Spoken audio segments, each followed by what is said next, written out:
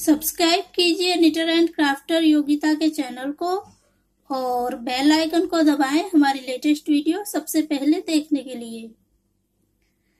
तो आज हम फ्रेंड्स आप लोगों को ये आटे के बैग से हैंड फ़ैन बनाना सिखाएँगे।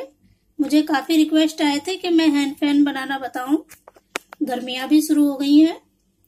तो चलिए देखते हैं हमने किस तरह से इसको हैंड फ़ैन बनाया है। पॉलिथीन का। हमने प्लेट रख के इस पे निशान लगा लिया है और अब हम ये इसको काट लेंगे।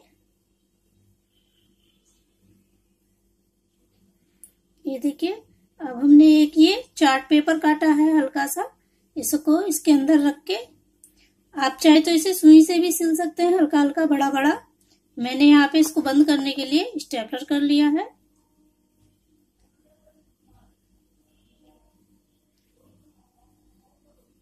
अब हम ये किए आपके पास कोई भी बचा हुआ कपड़ा पड़ा हो तो आप ये यूज़ कर लीजिए। मेरे पास ये सूट का बचा हुआ कपड़ा था, मैं इसे लगा रही हूँ उसको। अब इसको भी हम इससे निशान लगा लेंगे इसके बराबर का।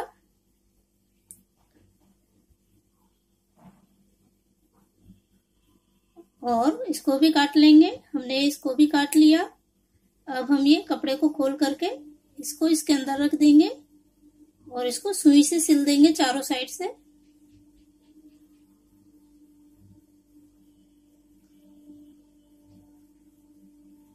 ये देखिए, इस तरह से हमने रेड कलर की ऊन से ही सिला है ये।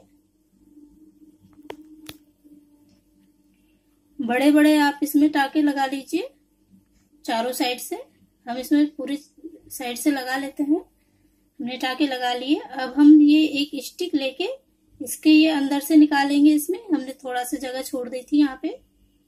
ये देखिए यहाँ से। ये हमने इस स्टिक को निकाल लिया। अब हम ये इसको थोड़ा सा टाइट पकड़ के अब इसको एकदम साइड साइड से सिल देंगे। स्टिक के एकदम साइड से निकलना चाहिए धागा, जिससे कि स्टिक ढीली ना पड़े। और ये इस तरह से पूरा आगे तक इसको सिल लेंगे। और धागे को खींच करके सिलना है, जिससे कि ढीली ना हो। सिल लेंगे इसको पूरा।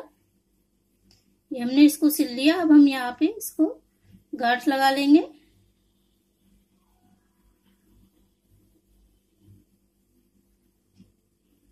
अब हम ये, हमारे पास जो वेस्ट कपड़े हैं जैसे सूट वगैरह में से बच जाते हैं, हम उनकी छोटी छोटी सी कटिंग करेंगे ऐसे, और इसको इस तरह से फोल्ड करेंगे। तीन बार फोल्ड किया हमने, और इसको ये इस तरह से कोना काट लेंगे। अब हम इसको सुई से सिलेंगे। सुई से सिला हुआ मज़बूत रहेगा ज़्यादा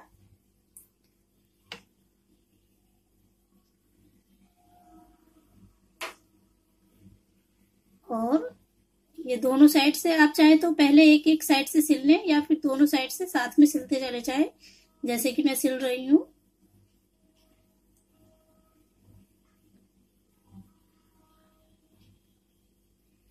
ये इसी तरह से चारों साइड से लगा लेना है।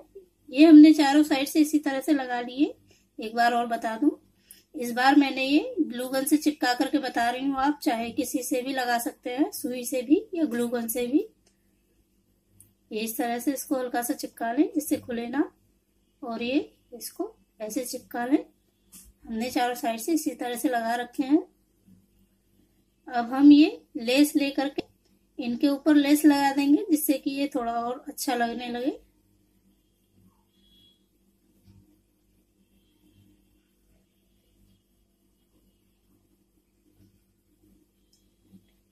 ये चारों साइड से इसी तरह से लेस को लगा देंगे। ये हमने लगा दिया चारों साइड से इसको इसको अब हम इसको थोड़ा सा और डेकोरेट कर लेंगे। और ये हमारा हैंड फ़ैन भर करके तैयार हो गया है।